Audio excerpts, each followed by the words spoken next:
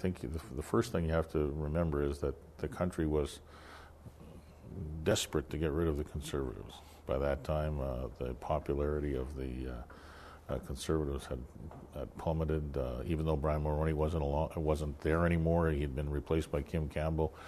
There was, and it looked for you know for a bit as if maybe uh, she might restore the competitiveness of the of the Tories. That didn't happen.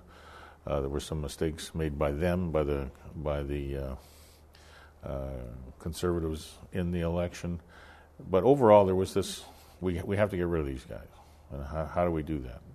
People felt that the best way to do that in some places was to vote Liberal, which they did in Ontario in spades. I mean, I think the Liberals won all the all the seats in in, uh, in Ontario. The reformers were able to really make a big deal out of the fact that, as they portrayed it, you know, the NDP and the Liberals and the Conservatives, they're all on the same side. They're the elite.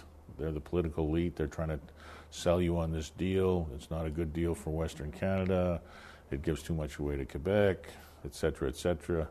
And uh, it was a very successful strategy. Uh, and it was the reform that party that stole our vote in the West and the, the, Liberals in Ontario. And at the time, there were no seats to lose in Quebec or, or the Maritimes. Um, and when you throw in the fact that the Rae government in Ontario was very unpopular uh, by that time, and the fact that uh, um, uh, you know there were uh, it was a very difficult time for um, for Audrey McLaughlin as, as, as leader to manage all those different things. It was a kind of a perfect storm.